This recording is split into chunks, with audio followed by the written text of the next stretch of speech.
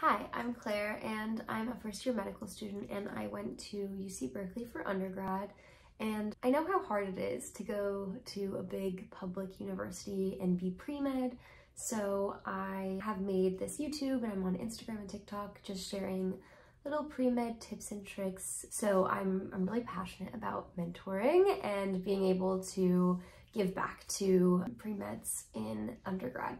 So today I'm going to be talking about how I got A pluses in both Organic Chemistry 1 and Organic Chemistry 2. It definitely wasn't easy and it was one of the harder classes that I had taken, but I ended up really loving it at the end and I even ended up tutoring people after I took the class. So I am well versed in how to succeed in organic chemistry, which is why I'm here to tell you about it today. We're gonna get started on all of my tips and tricks on how to succeed and get an A in organic chemistry.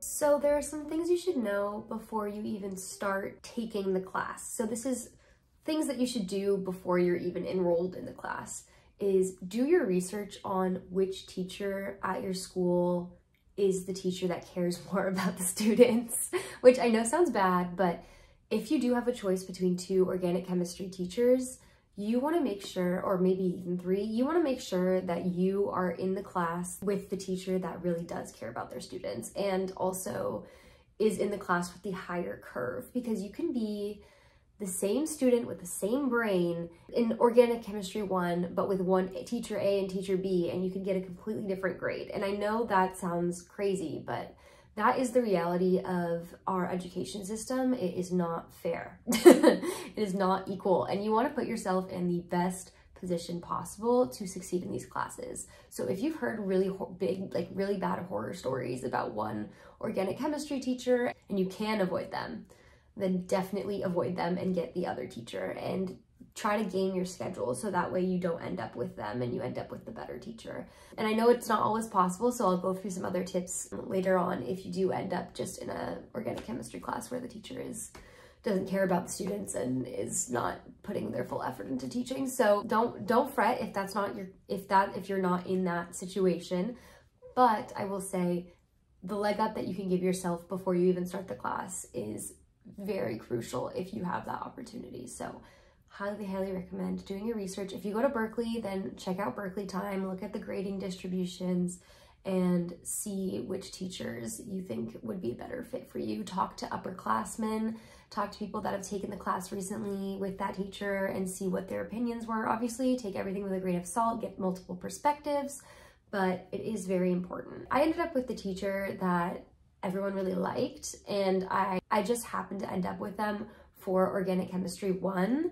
After I really loved Organic Chemistry 1 with them, I actually changed what semester I was taking OChem 2 just so I could take it with them again because I knew that I could succeed in that type of learning environment. So I wanted to keep that consistent for myself. So that's something to keep in mind. Okay, my second tip for things to do before class even starts is to make sure that you're not stacking your schedule against yourself. So if you know that you have never taken organic chemistry before, you're kind of scared about it, you feel like you have no background in that sort of thing, but you have to take it, do not take a bunch of really hard other STEM classes alongside it. So I took organic chemistry as pretty much my only hard STEM class that semester and it was really beneficial for me to be able to go to office hours and be able to meet in study groups with people and be more free so I would have more time to practice. And if you can't do that, I would just at least recommend cross-referencing your schedules and seeing if your other classes overlap with the office hours of organic chemistry because office hours are really key, especially at UC Berkeley because it's just kind of like a discussion section for class and it just gives you more one-on-one -on -one time with instructors and being able to ask your questions is really important. So definitely make sure your other classes, even if they are hard STEM classes, do not have class during the times that organic chemistry office hours are.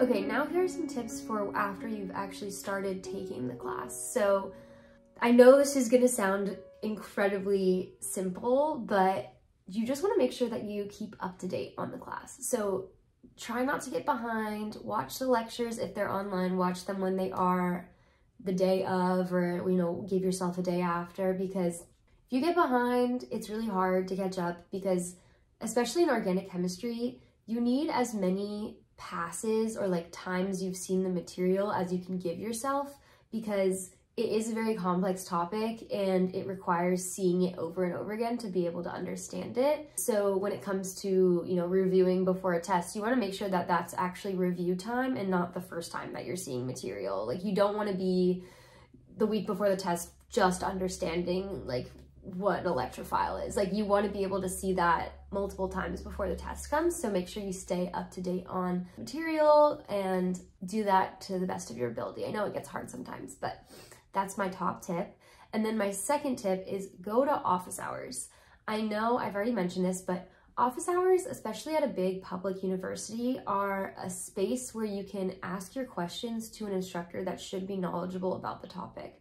I, I remember so many times where I was like in my room just struggling alone on a top through a topic, trying to figure it out. And then the next day I'd go to office hours and it would take like the graduate student or like the TA like two minutes to explain to me exactly what I was struggling with for hours. So make sure that you take advantage of all the resources that are provided to you. Not all office hours are created equal, obviously. And this goes back to like teacher inequality in terms of who cares about the students and who's good at explaining and teaching in general. So what I would recommend is the first few weeks of class, go to a bunch of different office hours for different TAs, go to your professor's office hours, and see which ones you think are you have the biggest learning connection with. See which ones you think will be able to explain things to you in a way that you understand the best. And go to their office hours consistently because they will explain the topics to you in a way that you understand. And that is very, very valuable.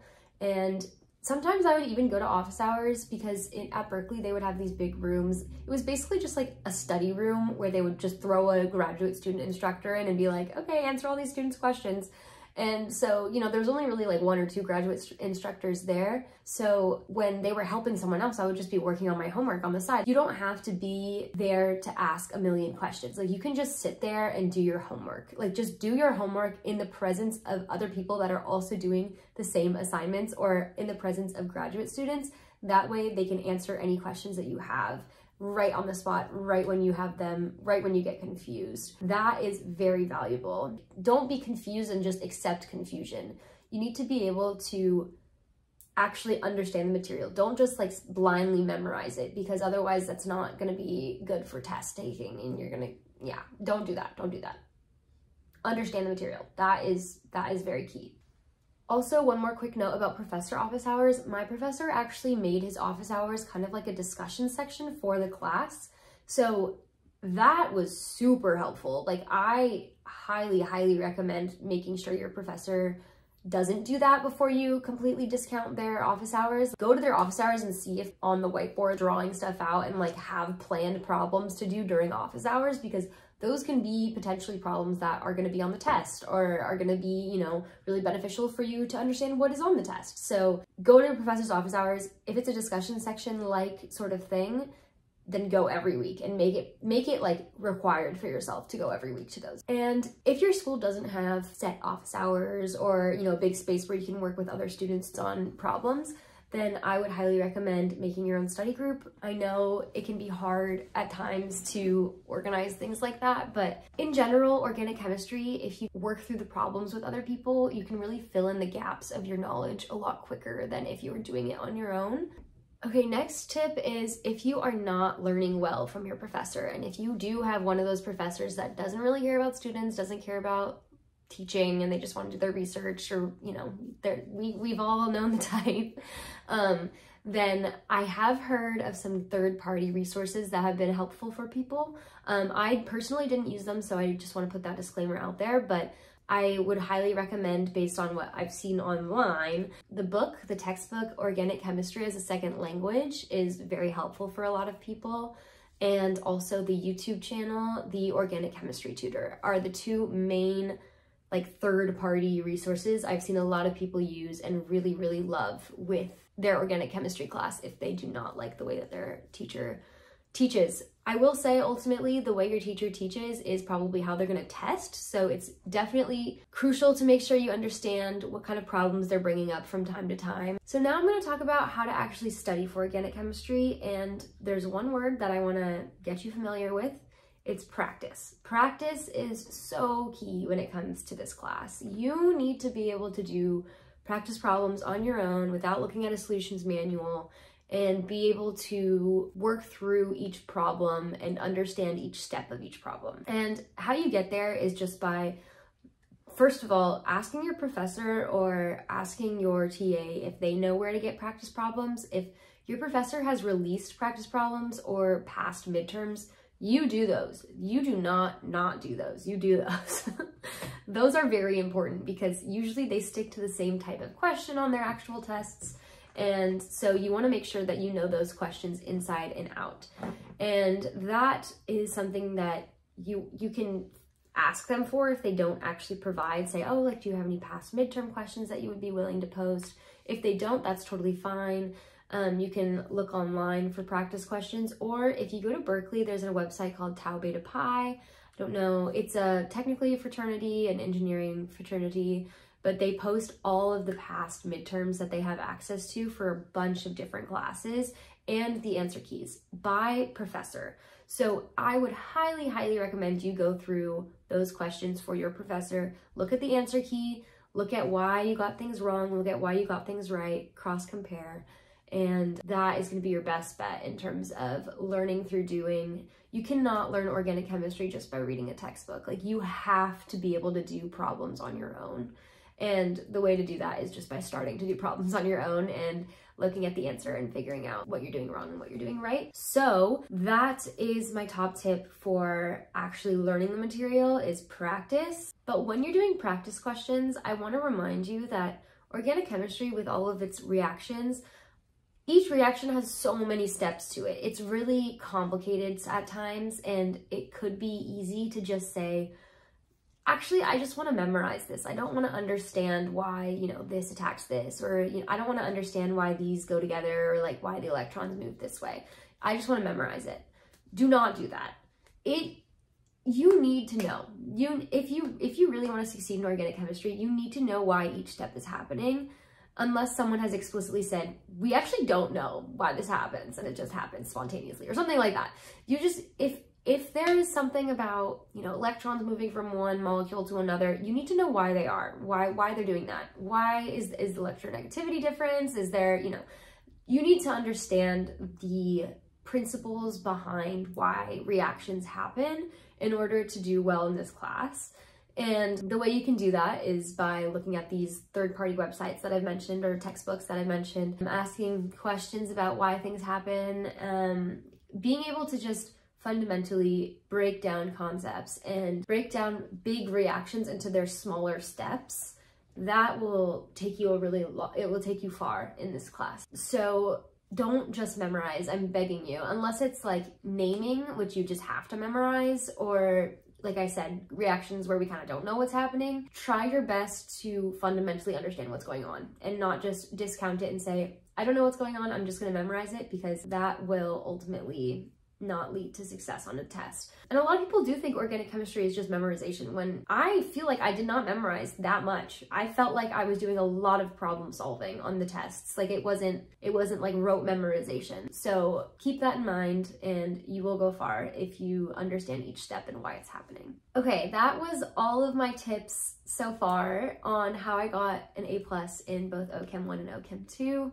I hope that was helpful. I I know this is a time where people are transitioning into starting classes for the spring semester, so I just wanted to put these out there for people that might be starting organic chemistry in the spring. And I would love to answer any questions that you have in the comments below. And also I am on TikTok and Instagram at It's Claire Jean. So feel free to find me there and feel free to subscribe if you want to see more content related to pre-med, undergrad tips and tricks because I always want to help people get through the pre-med phase because I just remember how hard it was to be pre-med at UC Berkeley and I want to be able to help make that process a lot easier so you're not struggling through it alone. So yeah, ask me any questions you have below and let me know what other videos you want to see because I'd be more than willing to make them.